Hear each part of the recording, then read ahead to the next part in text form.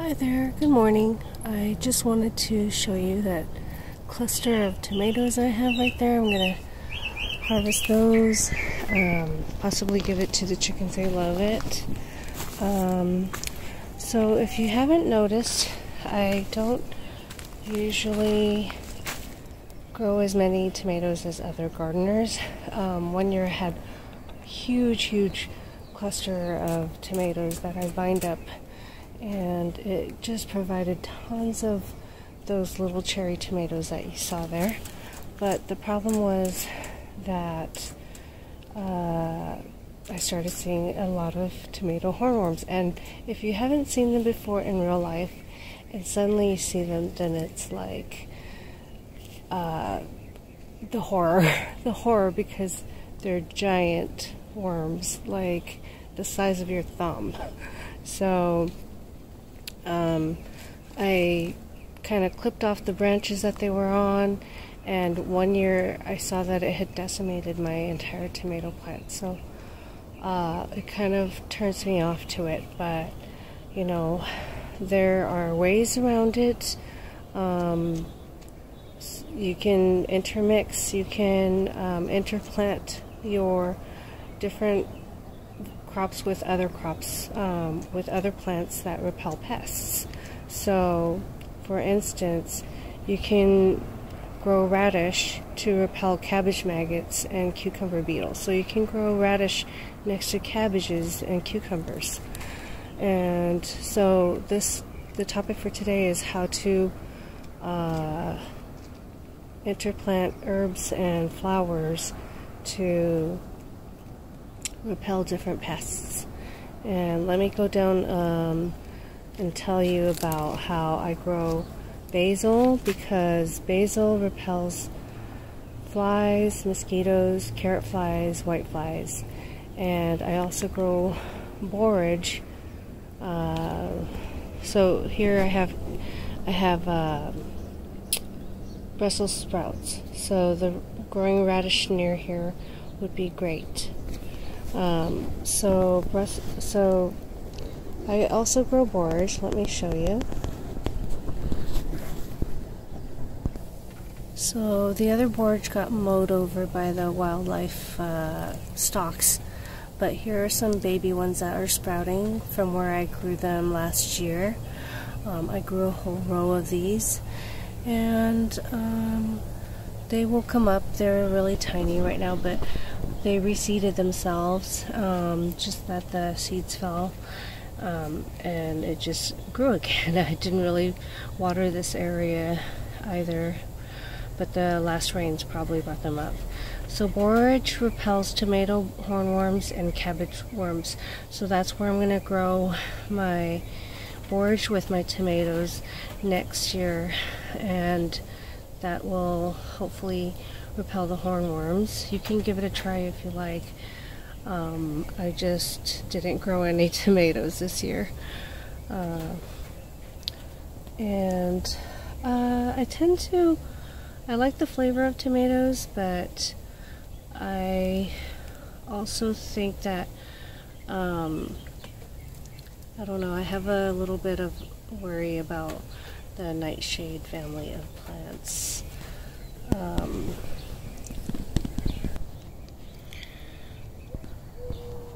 So chives repel carrot flies, Japanese, be Japanese beetles, and aphids.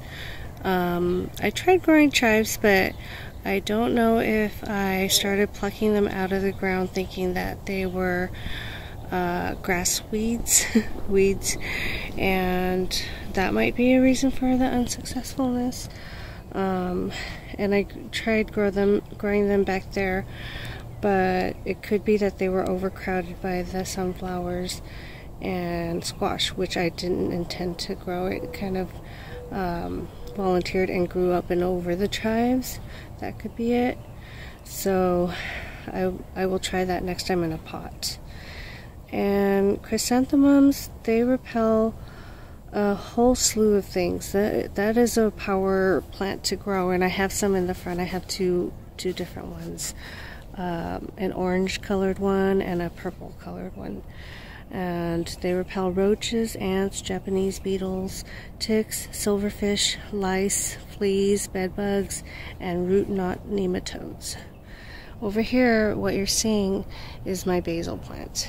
I just I didn't come over here to show you when I was covering be, um, basil. Citronella grass, which repels insects and deter and may deter cats, and clovers repel aphids and wireworms. Coriander repels aphids, Colorado potato beetle, and spider mites. Cosmos repel the corn earworm. So if I were to grow corn, I would grow the Cosmo amongst it or around it.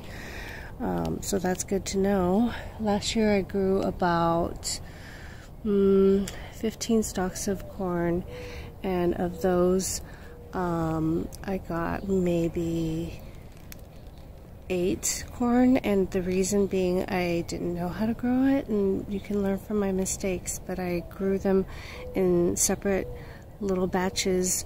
I tried to grow them around the children's garden so it pr would provide shade it would get tall.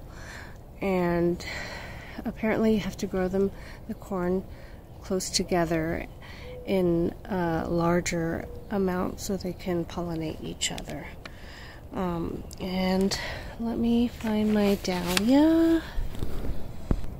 So dahlias repel nematodes, and dill repels aphids, squash bugs, spider mites, and cabbage loopers. And let me get to my fennel. So I covered fennel before that. I grow them and they look like the star anise, the umbel shape. It repels aphids, slugs, and snails. So this year I've been having a huge slug and snail problem. And um, I didn't know what to do.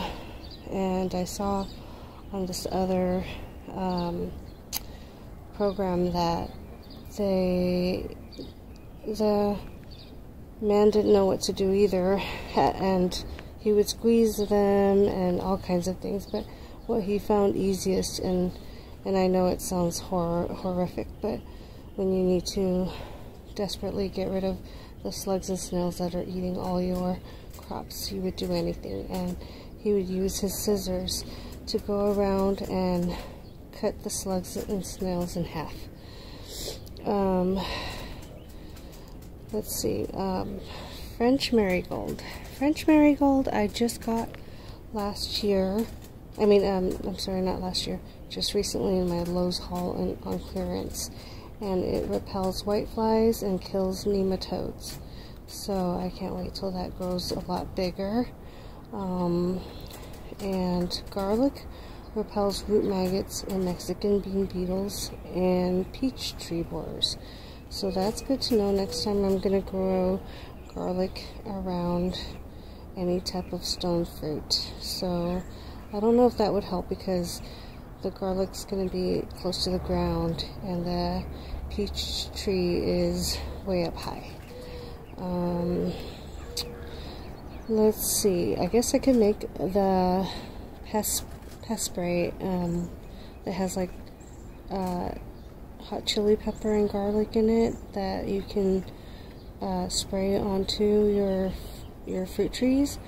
Garlic actually repels a lot of um, animals, uh, uh, um, insects, more than what it states here, I think, because a lot of them tend to dislike the smell. And it uh, is definitely an antibacterial, has antibacterial and antifungal properties. So, uh, what I normally do is I heat up some water um, and I chop up garlic and hot hot chili peppers and I just put those in the water and I let it sit for a day 24 hours and then I um, filter out the solid pieces of garlic and chili peppers and pour the solution into a spray bottle and sometimes you can add a little bit of uh, dish soap and then mix just uh, shake the bottle and spray all over your plants so that they don't come around and eat up all your fruits and things like that. Um, so let me talk about lavender. Lavender repels moths, scorpions, flies, fleas, and mosquitoes. So that's good to know because I have lavender up in the front and I have heard a lot of good things about lavender, which I will start growing some back here in my backyard. And leeks repel carrot flies. Lemongrass repels mosquitoes, which I have some lemongrass. I just potted this, um, I just had this lemongrass in a pot and I just transferred it into the ground recently and it looks really nice. I have two bushes in the front and then I have about uh, five plants dispersed all about. Um, I started growing them at the base of fruit trees so that's a nice trick. Oops. Yes, that's that's where I, I have several all over the backyard and I actually use it. It's really fragrant um, so on to, and here is another basil. This is a sweet basil I got on clearance and I put it in the ground. And here is the French marigold right there with a new bloom. And I know that's a new one because I cut off all the dead heads. So back there is some mint that I have growing in a pot and lemongrass next to it, really nice and tall, and some more mint. I have it dispersed everywhere. Um, and peppermint repels aphids, cabbage loopers, flea beetles, squash bugs, white flies, and something called the small white. So I'm not sure what that is, but the more plants something, the more insects that a plant can um, keep out of your garden, the better. And I just recently got some cuttings from my sister of rosemary, and that repels cabbage, looper, carrot flies, roaches, mosquitoes, slugs, snails, and the Mexican bean beetle. So that one's actually another hardworking herb aside aside from the chrysanthemum, the flower. Um, and some versions of chrysanthemum are edible. So, um, Chinese make chrysanthemum tea, and it has a sweet, fragrant, um,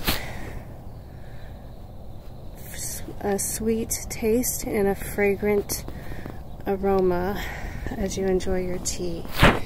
So, and I grow green onions, which is in the allium family, and I know that definitely deters uh, bugs. And um, what a surprise for me that I have my moringa survived the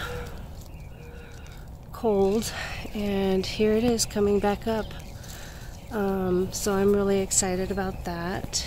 Tucked away, it must have been protected because in the pots I did um, put leaves at the base of it to, to insulate it. So as you can see I grow um, more flowers and more herbs now under the fruit trees and I do that for a reason of for all these reasons. It's called interplanting. And here's another basil and it is so fragrant. When I brush up against it it smells so good. And this is edible. This is Thai basil. It smells so good. I wish you could smell it. And let's see. Here's another dahlia and some more of that basil. And I nestled it right against my uh, blackberries. And here are some bay leaves. And let's see. I'm just showing you how I'm planting things. And a lot of this has to do with I love love love love basil. So I just recently took a bunch of cuttings and just spread them all over. And so that was a cutting and it was thriving Here's my rosemary I got from my sister. It might be too late in the season to to like um, grow it from cutting because it's so hot. So that last one didn't look too good. These are the new the new rosemary that I got from her just a week and a half ago. So we'll see how that does. Here's a new this one isn't actually new. It was in a pot and it's basil and I just put it into the ground and it is thriving. And I grew that really close to my Swiss chard, hoping to, you know, get rid of critters. And here's a basil. I just did that at the right time because they are all coming up real nice. Here's Cosmo. And I might be putting that into growing that in the ground instead of in the pot. And let's see. Next to my lime tree, like I said, I grew a lot of, um, I started growing a lot of things at the base of my fruit trees. And that is the lemongrass. And right over there was another lemongrass. And all I did was throw two shoots down there. That was it. And now look at how bushy and nice it's forming and it's all about controlling what's growing. If you don't like a plant somewhere, remove it, like I did with the sunchokes. Um, I removed a few because they were blocking the sunlight to my other plants. Um, and I can give them away, so other people can have a, a little bit of it as well. And next to this little uh, kumquat treeling, it's about two feet tall. I am trying to grow holy basil. And I kind of spread it all over here, but for some reason that little tiny patch is what's left. And I hope that it grows, but I don't know. I try to leave it alone. The more I fuss with it, I find the more of a chance it will die. And, um, oh yes, here's a marigold from that I took the seed from last year and I put it down here. Um, a lot of the seeds didn't make it and I don't know if it's because of this um, soil that I have.